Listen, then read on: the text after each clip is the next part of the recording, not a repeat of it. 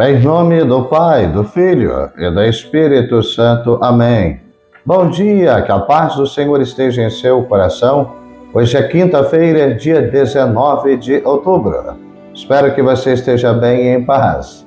Oremos. Vinde Espírito Santo e capacita todas as famílias, todos os pais, todas as mães, para que possam educar bem os seus filhos no crescimento da fé Capacita, Senhor, todas as pessoas para que elas possam compreender que cada criança contribui para o nosso desenvolvimento e também para o futuro da nossa nação.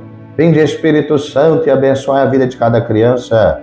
Vinde, Senhor Jesus, ilumina a trajetória de cada filho, cada filha, para que estes possam prosperar e glorificar o teu santo nome. Abençoa, Senhor, todas as crianças, as famílias, os pais, os avós, os profissionais que trabalham com as crianças. Nos capacite com o chão do Espírito Santo. Amém. Ave Maria, cheia de graça, o Senhor é convosco. Bendita sois vós entre as mulheres, e bendito é o fruto do vosso ventre, Jesus. Santa Maria, Mãe de Deus, rogai por nós, os pecadores, agora e na hora de nossa morte. Amém. Nossa Senhora da Saúde, rogai por nós. Meu irmão e minha irmã, levante a sua cabeça. Não desanime, não esmoreça. Tenha orgulho de si mesmo. Você não é um perdedor, como você pensa. Não, Olhe para trás e veja tudo que você já enfrentou até aqui. Todas as dificuldades, todo o sofrimento, toda a traição contra você, e mesmo assim você ainda é capaz de estender a mão para ajudar a quem precisa. Você lutou batalhas, batalhas que as pessoas desconhecem.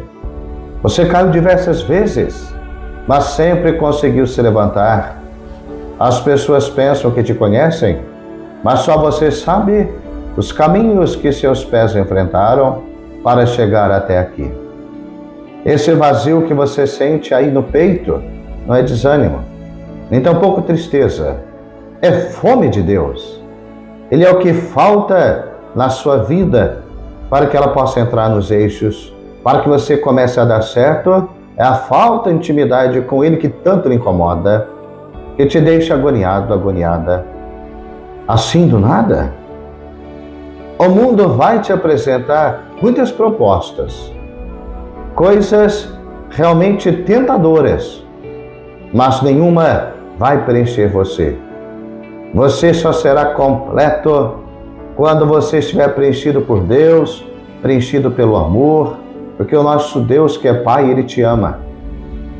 Por isso, não é preciso uma mudança fora do comum para querer um resultado fora do comum.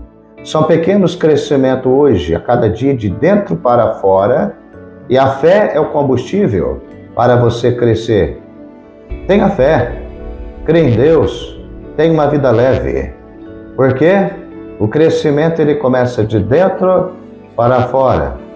Muitas pessoas podem querer te paralisar, tratar você mal, desacreditar em você ou até mesmo denegrir você.